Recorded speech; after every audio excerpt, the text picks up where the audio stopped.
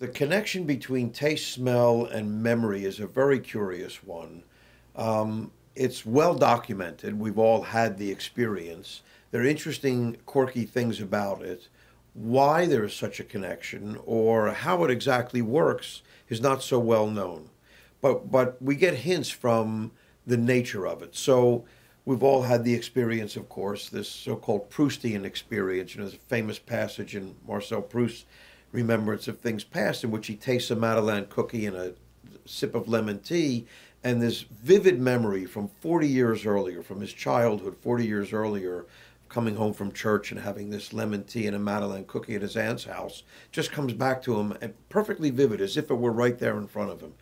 And he writes several pages about that and then goes on to write, what, 40 volumes or some crazy thing about seven volumes, I think it actually is, of, of memory of memory. So that's maybe the extreme example, but we've all had that experience where we smell something or we taste something and some memory quite vivid comes back, usually from quite some time ago. Now, one of the things we can note about those memories is they're always emotionally laden somehow or another. You don't smell something and remember a page of text or an equation or a phone number or something useful like that. You always remember something like grandma's living room, the first day of school. You know, one of the most um, one of the most uh, recognizable smells in America is the smell of crayons, Crayola crayons. So, and I, you know, you that brings right back. You can imagine that smell, and you're back in school somehow or another. So it's always something emotional, your first lover or some event like that.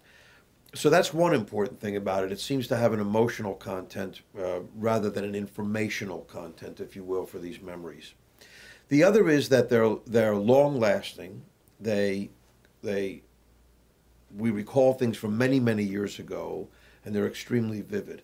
Now the ones that involve taste, which I remind you again, also involve olfaction. Really, um, we call them taste aversions because you have the sense that it's taste, that it's in your mouth. But this is just a trick, by the way, your brain is playing on you. If you've done the jelly bean experiment, you'll know that the flavor is due to your olfactory system, and yet the experience of flavor is unquestionably still in your mouth.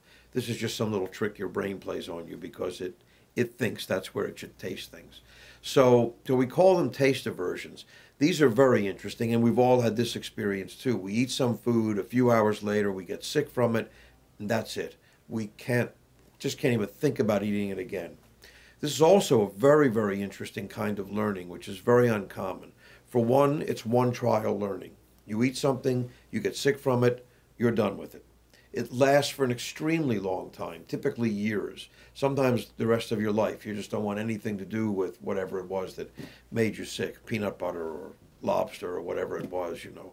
Um, and and most remarkably, you can this memory can be formed with several hours of delay, which is very uncommon usually in order to make and this works for other animals as well not just people. You can induce a taste aversion in a mouse or a rat or a dog or anything. Like they get them normally but you can also induce them.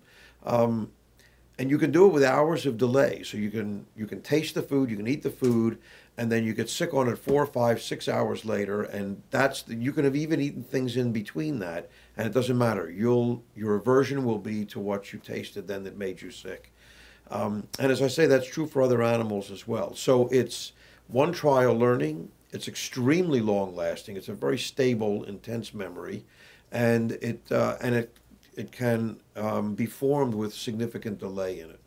There's a great uh, instance of this, I have to say. A researcher named John Garcia, I believe is his name, several years ago. Um, he was I forget where he was, but but at some university in I believe California. In any case, in the West and there was a problem with coyotes predating on predating on, on sheep. So um, sheep farmers were up in arms. The coyotes were killing off their sheep, and they wanted to go out and shoot all the coyotes, which would have also been a bad idea because it's part of a whole ecosystem, et cetera, et cetera.